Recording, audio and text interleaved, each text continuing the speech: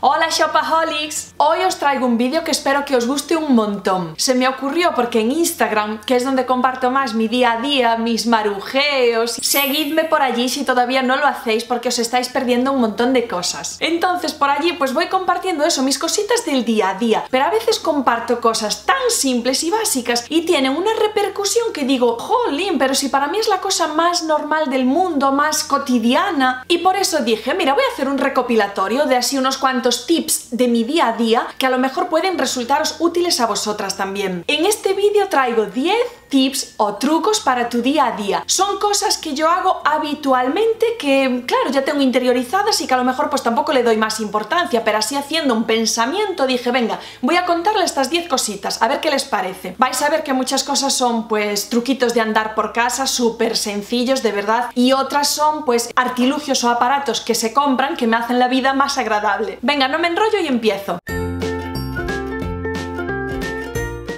Número 1. Si te sobra comida y en ese momento te has quedado sin film transparente para taparla, o no se te ocurre ponerle un plato pequeño por encima que también serviría para tapar la comida, pero sin embargo te viene a la mente ese gorro de ducha que cogiste en el hotel la última vez que fuiste, pues te viene al pelo. Tú pones tus sobras en un plato, lo tapas con el gorrito de la ducha y lo pones a la nevera a conservar y así ya se te conserva la comida estupendamente y te sirve para el día siguiente. Esto es muy sencillo, pero mira, yo tengo ahí en el cajón de la cocina un par de gorritos de estos que me hacen un estupendo. El 2 es para las pinzas de la ropa o estas pincitas tan monas que ya te venden ahora en Ikea, en un bazar, en una ferretería, pues son pinzas para poder tapar un envase, un paquete, pues cuando lo empiezas y no lo acabas. Yo las tengo todas centralizadas en este cajón, en esta esquina y ya veis que tengo de distintos tamaños y por si no me llegan o el plástico del envase a lo mejor es muy grueso y la pinza no me lo lleva, también tengo un par de pinzas de ropa siempre que también son súper útiles. Bueno, y este truco tampoco tiene ningún misterio, ya veis que con estas pinzas especiales o mismo con las de la ropa podemos tapar cualquier bolsa de alimento que no hayamos consumido en el momento. El 3 es este batidor mini que a mí me soluciona el día a día de verdad. Aquí me estoy preparando un café y como veis yo le pongo cacao puro, cappuccino y un poquito sirope de agave para endulzar. El cacao puro si no tienes la leche muy muy caliente cuesta mucho de que se disuelva. Entonces a mí este batidor ya os digo que me soluciona la vida. Este es de las tiendas de Tiger pero también lo tenéis en Ikea, en un bazar, en una ferretería,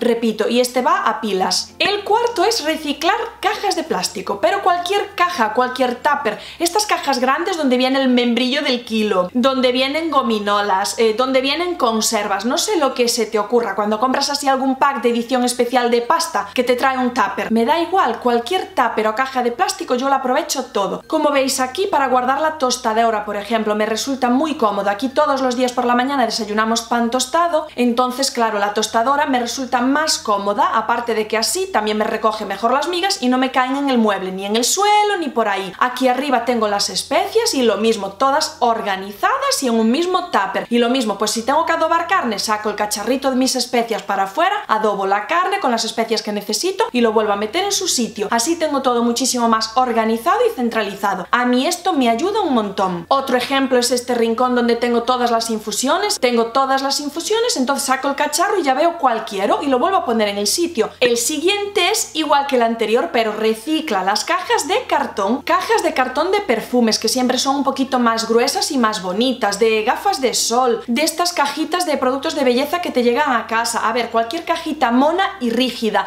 Yo lo aprovecho todo. Mirad esta caja alargada que tengo aquí donde guardo todos mis chocolates, es de una edición especial de un vino creo que fue. Entonces esta tiene dos partes. Una la guardé aquí, que además me va genial por espacio y tengo todos mis chocolates centralizados. Y la otra parte la tengo en este cajón con el papel film transparente, el papel de aluminio, las bolsas de bocadillos, las bolsas de congelado y también lo tengo aquí todo junto y organizado. Y esto sirve para el dormitorio, para el despacho, para la cocina, la despensa, donde quieras organizar y tener todo recogidito. Yo, por ejemplo, en el primer cajón del despacho que tengo los bolígrafos, gomas, posits y demás historias, pues ya veis, esta es una caja de unas gafas de sol y aquí la tengo de un lado Aquí tengo otra cajita cuadradita de metacrilato con varias chuminada también, pero por lo menos me sirve para tener todo organizado y cada cosa en su sitio. La sexta os va a sorprender un montón, pero mira, os lo voy a decir porque a mí me acompaña, pues no sé, desde adolescente. Y este sí que es un truco que te sirve para infinidad de cosas, y es medirse la mano. Si tú te mides la mano desde el borde de la muñeca a la punta de tu dedo más largo y te quedas con esa medida, después cuando andes por ahí necesites saber la medida de algo, pues chica, estás mirando un mueble, no tienes un metro a mano, a ver cuánto mide esta mesa, me entraría en el hueco que tengo. Y es que de verdad que es súper útil. Mira, yo sé que mi mano de aquí a aquí mide 18 centímetros, entonces eh, no sé, por lo que sea, eh, cotidianamente en la calle necesito saber una medida y pongo la mano, disimuladamente o no tan disimuladamente, me da igual, pero yo con la mano ya sé lo que puede medir pues cualquier cosa. Y esto incluso me sirve para la niña, porque yo le mido los zapatos, pues eso, en la palma de mi mano, o la cintura del pantalón, o una camiseta. El siguiente truco es con el cubo de basura. Yo tengo la costumbre de cuando cambio la bolsa de basura poner en el fondo un papel de periódico o una hoja de revista. Digo papel de periódico por daros una idea a vosotros, porque yo en casa no tengo periódicos, entonces lo que le suelo poner es un par de hojas de revistas, que de estas sí que siempre tengo. Entonces le pongo un par de hojas de periódico en la base y después pongo la bolsa. Y esto es muy importante porque si la bolsa está rota y yo voy tirando líquidos, ¿sabes? Al final el líquido queda ahí y genera olor y bueno, que después tengo que lavar el cubo siempre. Entonces el papel lo absorbe y cuando cambio la basura cambio el papel. Este es otro truco súper, súper efectivo, sobre todo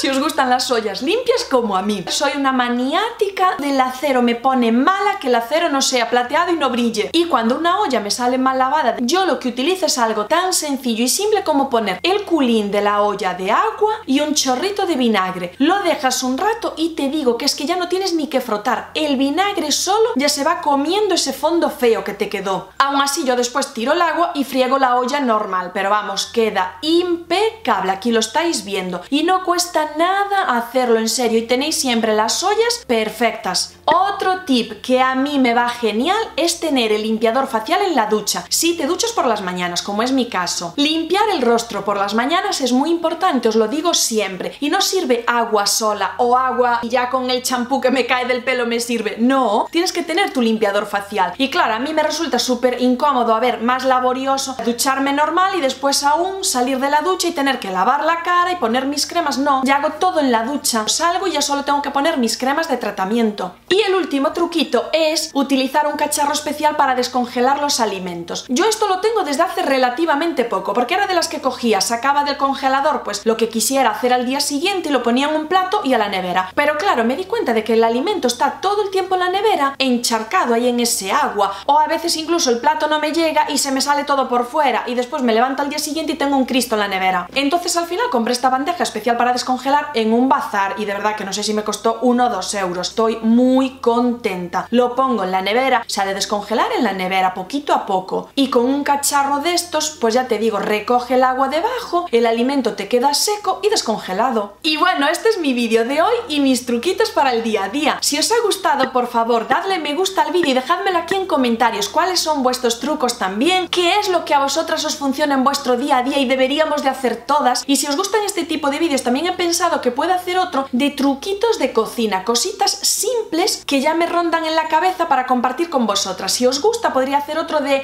10 tips de cocina o 10 truquitos de cocina para el día a día. Así que espero todos esos comentarios. Os envío un beso enorme y muchísimas gracias por verme. ¡Chao!